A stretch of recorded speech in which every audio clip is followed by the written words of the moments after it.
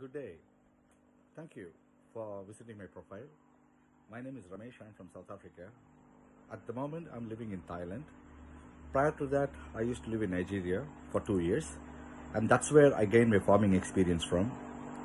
I used to involve with a government project when it comes to farming, uh, cultivating, educating, giving the right seeds, right crops at the right moment to the farmers, and solar panel and micro irrigation. These are my expertise. Other than that, I do procurement, sourcing, kind of marketing and uh, resourcing to the local market and educating the farmers about uh, the hybrid seeds and plants. It was a great experience to work in Nigeria with the farming experience. Learned quite a lot and still a, a lot to learn. And I would like to take this opportunity to gain my knowledge and experience in US. I've been to US before. I lived in US before.